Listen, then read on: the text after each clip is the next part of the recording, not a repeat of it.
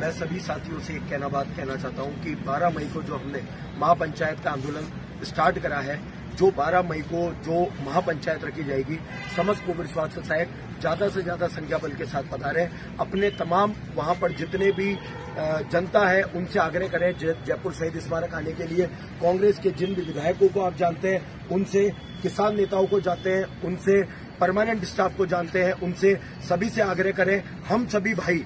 बहनें जितने भी आपको शहीद स्मारक पर दिख रहे हैं, लगातार संघर्ष कर रहे हैं, आप सभी साथियों से निवेदन है अपने अपने शक्ति बल का प्रदर्शन करें और अपने तमाम जितने भी जानकार हैं, उन सबको 12 मई को शहीद स्मारक पर इकट्ठा करें। धन्यवाद।